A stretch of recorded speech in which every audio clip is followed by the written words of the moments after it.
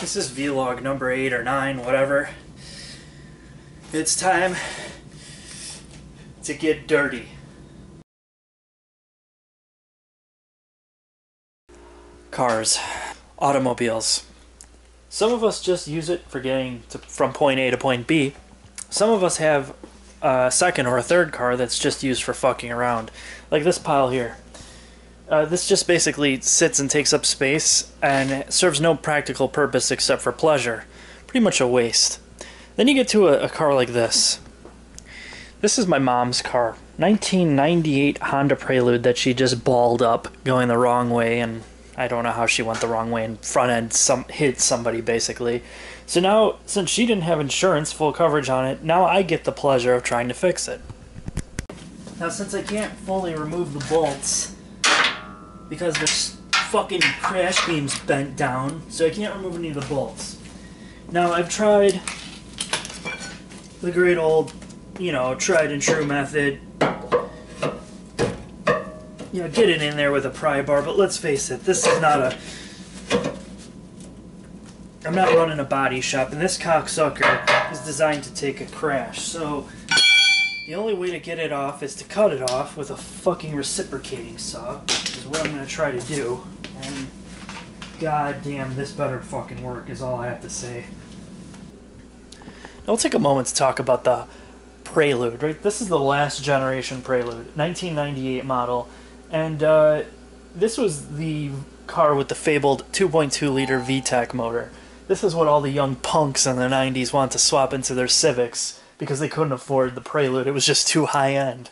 Now, fast forward 15 years, and you have a car that you have cardboard underneath because it's going to leak oil out of every single seal that it has rear mains, cam seals, any other seal that's going to leak is going to leak.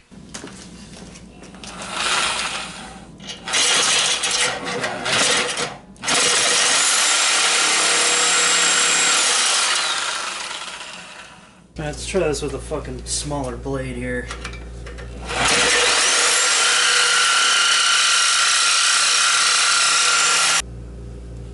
Yeah, that's a little hot. Just a little hot. Uh, we're gonna leave that there. Let's see if we can pry at this a little bit more.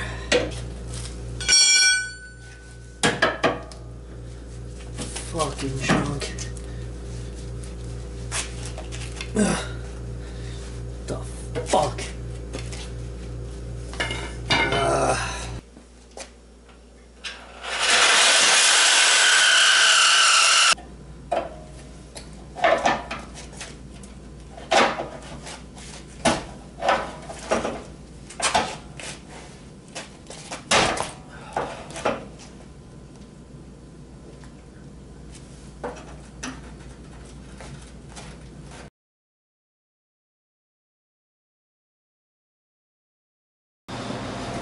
As you can see here, to get this side of the bumper beam off, there is a bolt that goes in the center of this hole, which you can't really see in the dark.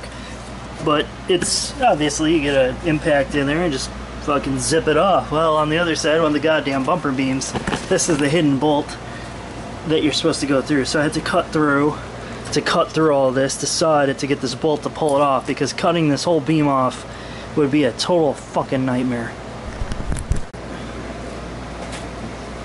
Of course, my other safety glass is fogged up, which these are too, for some ungodly reason.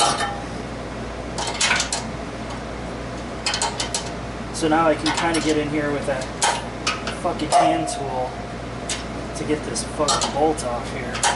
I got one more on the other side. Well, we'll see what happens. One click. One click. That's all I'm going to get out of this cocksucker, huh? There we go.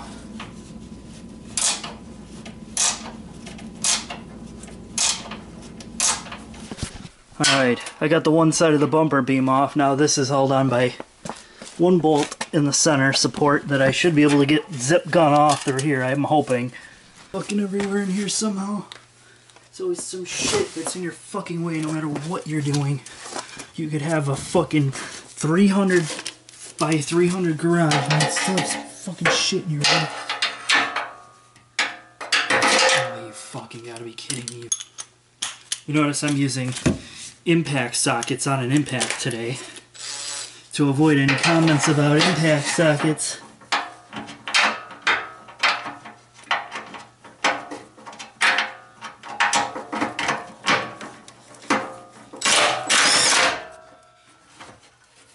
Holy shit, this fucking thing's heavy.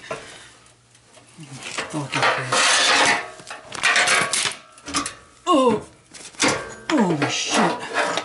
Didn't think about that, did I? Alright, let's talk about the bumper beam for a second. This is what the car looks like without it. Okay, now most cars have that.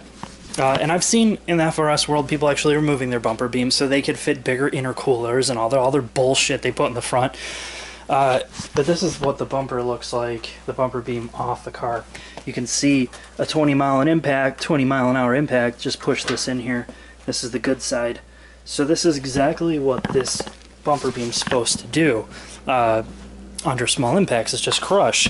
Now it did push in the front bulkhead a little bit, but it saved this entire front end of thousands of dollars worth of damage. All of that has been saved because of that bumper beam. So if you're thinking about removing your bumper beam, know exactly what's at stake. Alright, now that we got that fucking bumper beam off, it's the last part of today. Get under this fucking pile and pull. I know it's in the middle. There it is. Right here. I'm gonna pull this fucking plug for the radiator. Draining out all this fucking coolant here. It's probably gonna go all over the fucking place.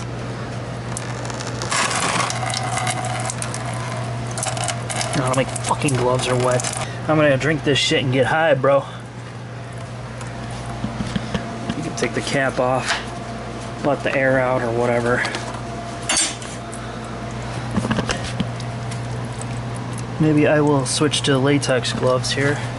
I'm sorry, they're not night in the latex gloves, they're nitrile. Let's pull my fucking sleeve up. Now oh, watch, it's gonna spray fucking everywhere. Yeah!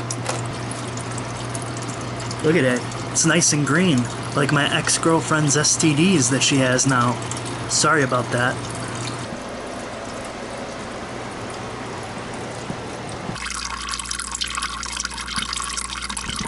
That makes me have to take a piss.